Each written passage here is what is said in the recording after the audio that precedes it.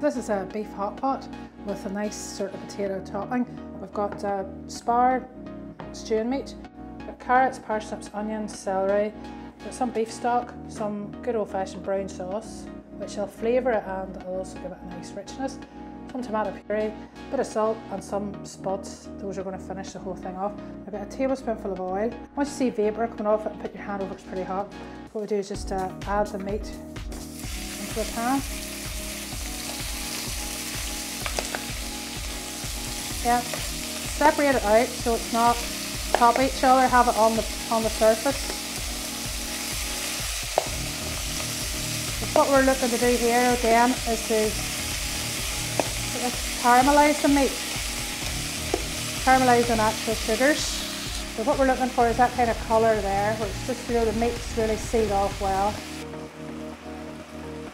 While I'm waiting for that to cook on that side, we're just going to chop up my vegetables nice big chunks.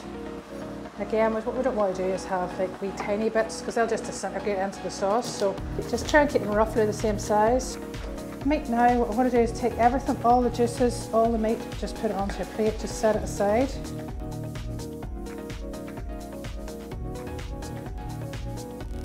What I want to do now is cook the vegetables off. Get them all in.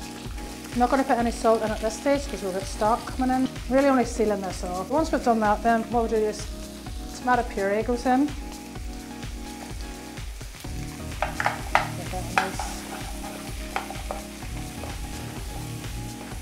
Just give that a good cook out. And what we're going to do is add our uh, beef stock.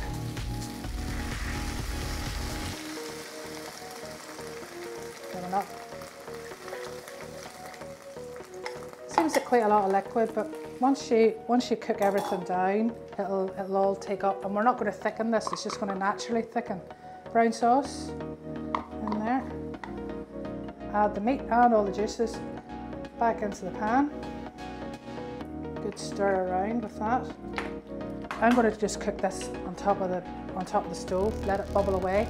But you could put it into a casserole dish. You cook it slowly, um, or you could put it into a slow cooker.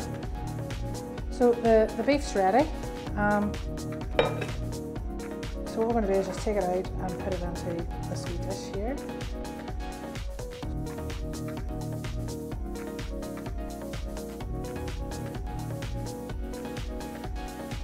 What I'm going to do now is just uh, put some potatoes to bother peeling them. Just, uh, just nice and thinly slice them.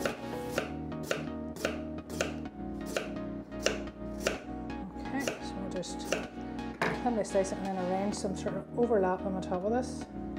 What happens then is all the lovely juices will come up and, and take um, come up for this.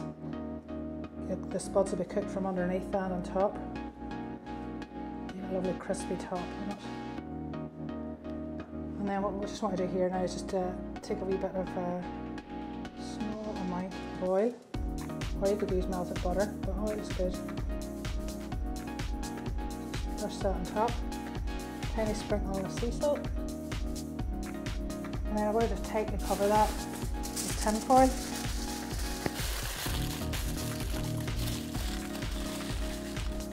And what I want to do now is just put that back into the oven and just bake that until the spuds are soft. It's going to take about 15 minutes. Lift the other bit off, lift it off after 15 minutes and just let them brown.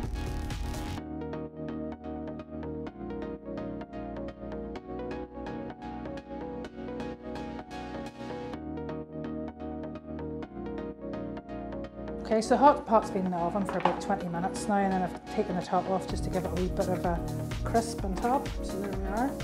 That's the beef hot pot with the crispy potato topping.